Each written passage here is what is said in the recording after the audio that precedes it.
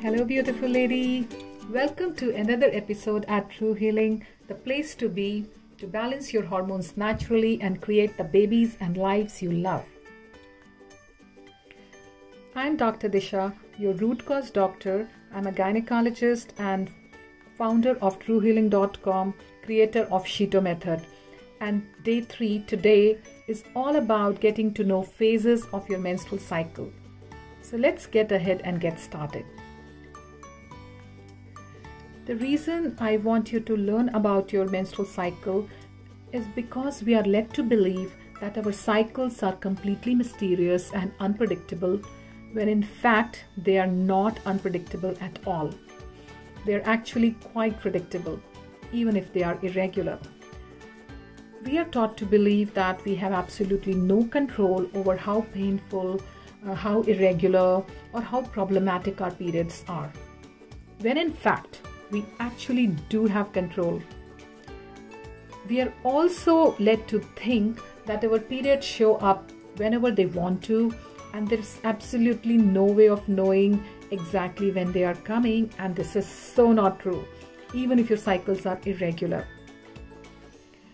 Uh, apart from that, many women still think that they can get pregnant anytime, which is also not true. You can't just get pregnant anytime, any day uh, in fact, there is only certain parts of your menstrual cycle when you can get pregnant, and that's one of the reasons that we are learning this because I want all of you to be aware of how your body works.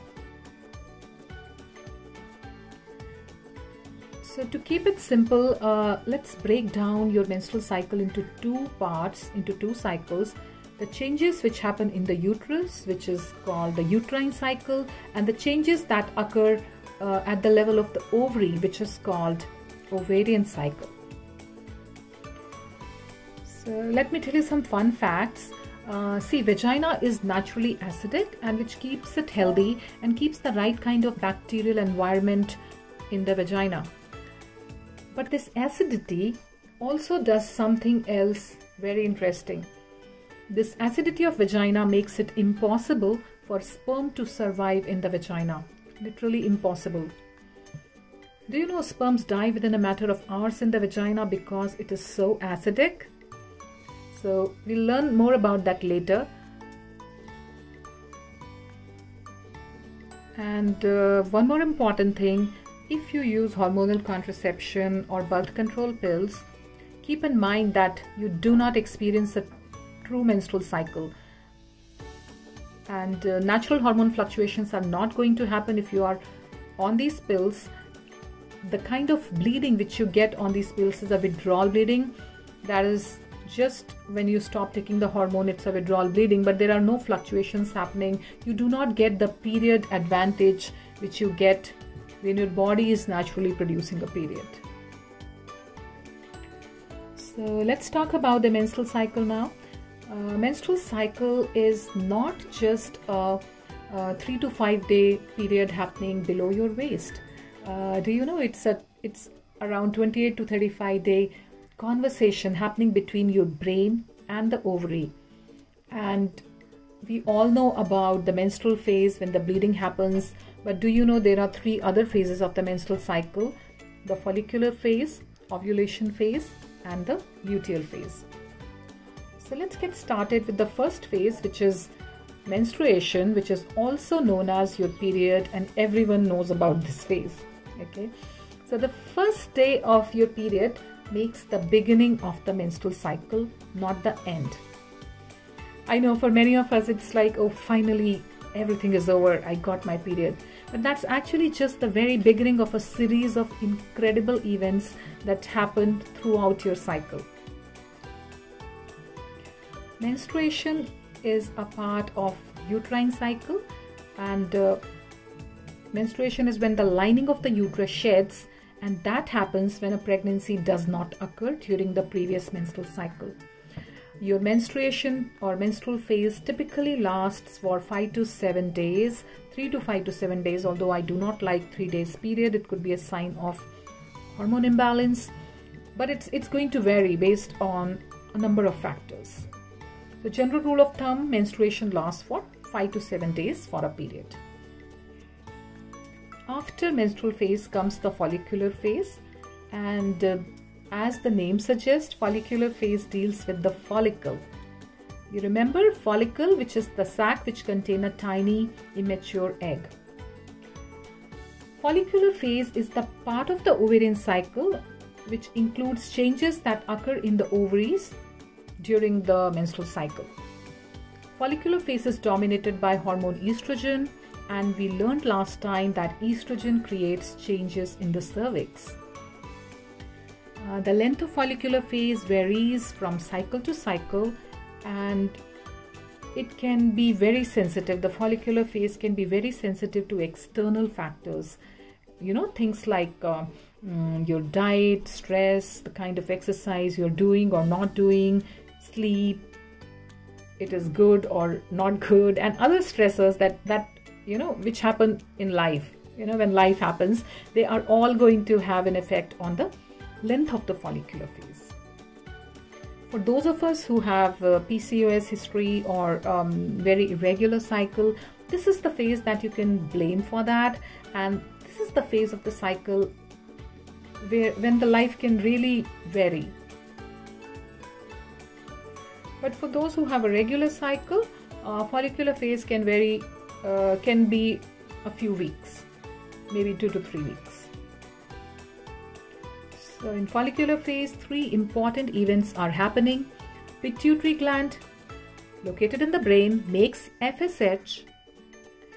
FSH acts on the follicle which makes follicle makes estrogen and estrogen changes the cervix. Now estrogen changes the cervix. So the bigger the follicle gets, the more estrogen they make.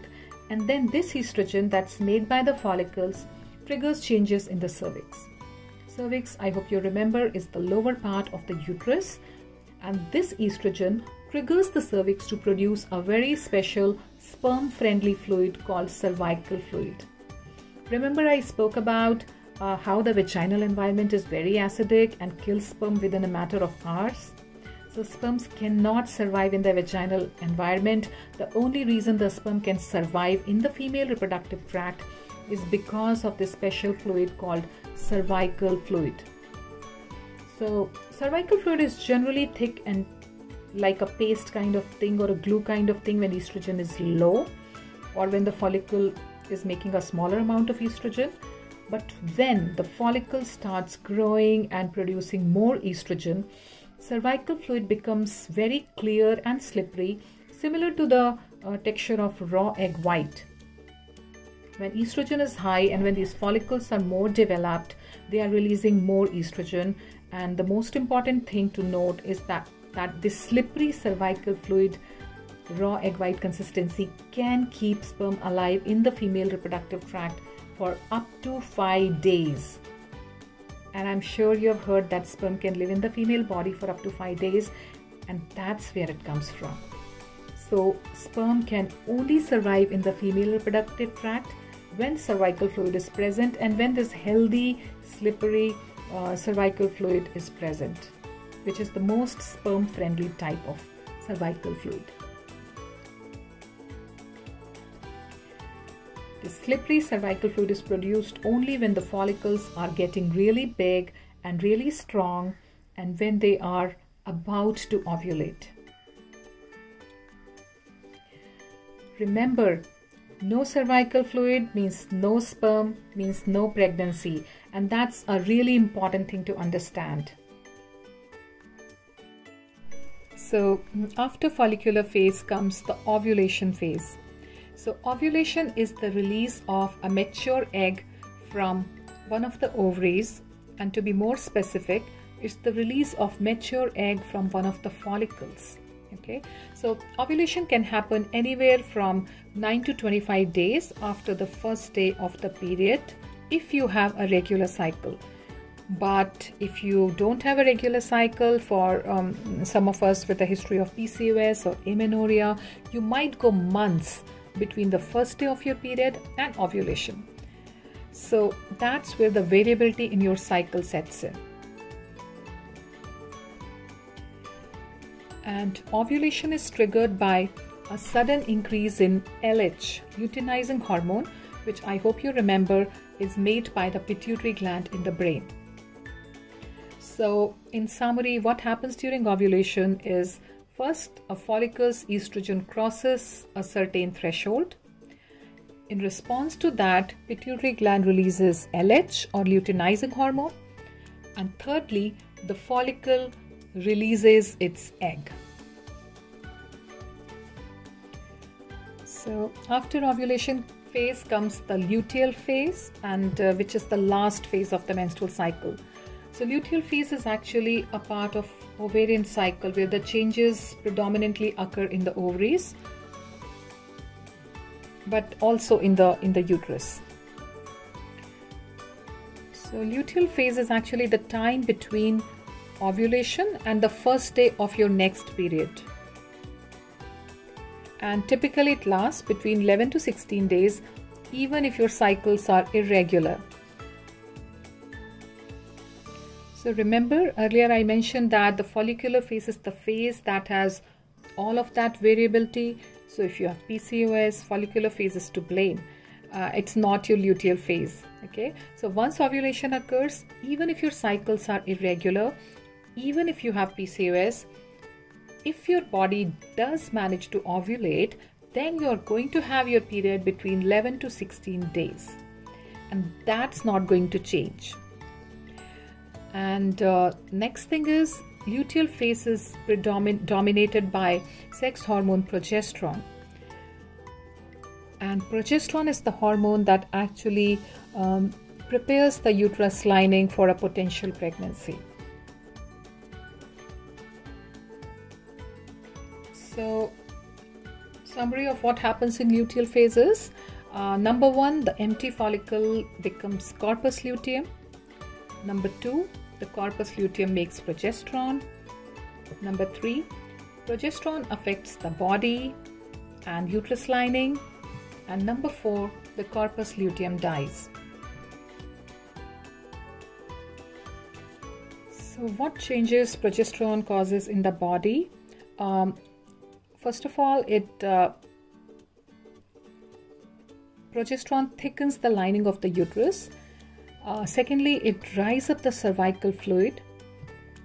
Then it prevents another ovulation and it also heats up the body. So remember I said that egg would die within 24 hours after ovulation if it's not fertilized by a sperm. So if the egg is not fertilized, corpus luteum will die after 11 to 16 days. Or if even if the egg was fertilized but for some reason it was not able to successfully implant itself on the wall of the uterus, uh, which is where it would have uh, grown and been housed during pregnancy, the corpus luteum again will die after 11 to 16 days. And obviously, if corpus luteum dies, it cannot make progesterone anymore. So if the corpus luteum dies, progesterone's level come down, uterine lining breaks down and which means you start your period. So again you go into your menstrual phase or the period starts. So I know we have covered a ton of information in this session and you should be super proud of everything that you have just learned because that's more than most people will ever understand about their menstrual cycle, and I'm hoping to change that all. So take very good care of yourself till I see you next time.